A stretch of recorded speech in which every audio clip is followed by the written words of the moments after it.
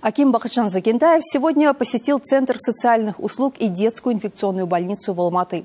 Те самые учреждения, на деятельность которых накануне в ходе отчетной встречи пожаловались жители.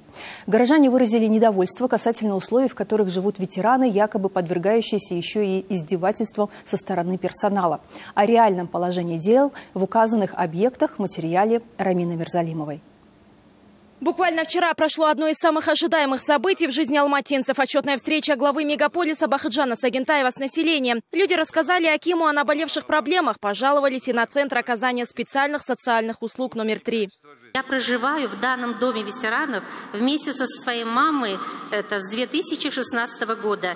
В сентябре 2019 года я опубликовала свое видеообращение президенту страны Такаеву и приложила 50 видео доказательств того, как над стариками, инвалидами издеваются в Доме ветеранов.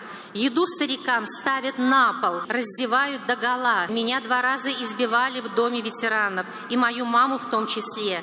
На работу центра пожаловался и бывший сотрудник учреждения. Врач-стоматолог проработал там свыше 10 лет и говорит, что был несправедливо уволен за ложное обвинение в адрес директора. Спустя время его восстановили на работу через суд. Однако теперь его не подпускают даже на территорию центра.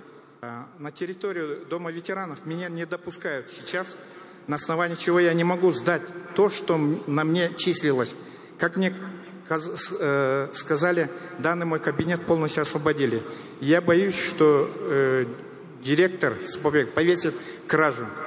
Сумма более э, миллиона тенге. Однако в ходе отчетной встречи нашлись и те, кто не согласен с подобными жалобами.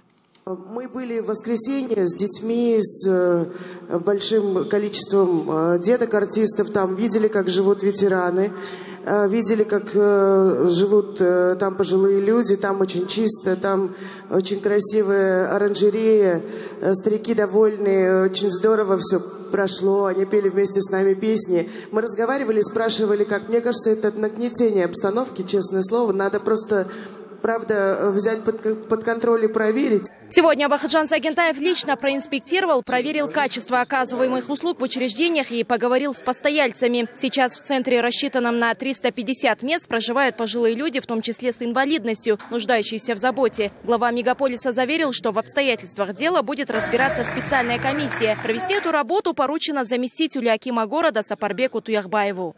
Создадим комиссию, приедут, объективно рассмотрят. А после визита Центра социальных услуг глава мегаполиса посетил и детскую инфекционную больницу, на работу которой вчера тоже пожаловались. По словам жителей, в медучреждении дефицит мест. Сегодня сюда ежедневно привозят порядка 300 детей со всего города и области. Бахаджан Сагентаев отметил, что сейчас разрабатывается вопрос дополнительной пристройки на 70 мест, а также строительства новой больницы на 500 коек. Рамина Мирзалимова, Мирами Сабеков, телеканал Алматы.